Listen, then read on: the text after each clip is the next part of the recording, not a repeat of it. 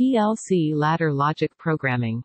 As we see in the last video, a PLC is composed of an input interface, output interface, and the CPU, which contains a program that tells the PLC how to execute control instructions. A PLC can be programmed using different program languages. The most common language to program a PLC is the ladder logic.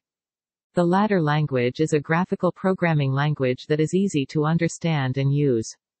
Ladder diagrams have horizontal lines of control logic called rungs. It looks just like a ladder, hence the name ladder diagram.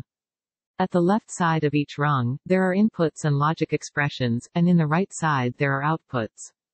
Ladder logic looks very similar to electrical relay circuits. We can consider the left side to be the positive rail and the right side to be the reference voltage or zero voltage, so the power will flow from left to right.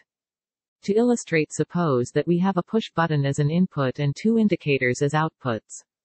Digital inputs are represented by normally open contact or normally closed contact in the ladder logic program and outputs are represented by coils. Suppose that the first rung uses the normally open contact of the push button and the second rung uses its normally closed contact. As the second rung uses normally closed contact, it will by default turn on the second indicator, while the first indicator is off. When the push button is pressed, the normally open contact used in the first rung becomes normally closed, so it will turn on and power up the first output. At that time, the normally closed contact used in the second rung becomes normally open, so the second indicator will be off.